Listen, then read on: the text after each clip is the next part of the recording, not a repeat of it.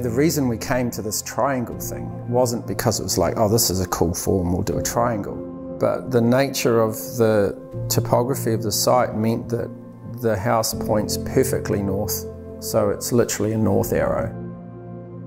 There's a knowledge that building here, even though there's nothing here now, one day there's going to be across the other side of a valley another house.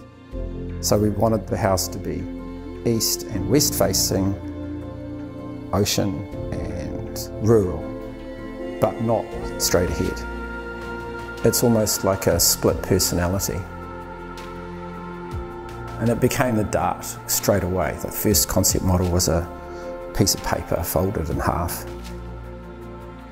Even though it's a triangle, you don't really perceive it as a triangle from the ground. So the arrival face is a really long flat gable, almost like a farm shed. I'm really proud of the kitchen. What we did with it was we carried the same cedar cladding through the kitchen, which is not normally a done thing because cedar is such a soft timber.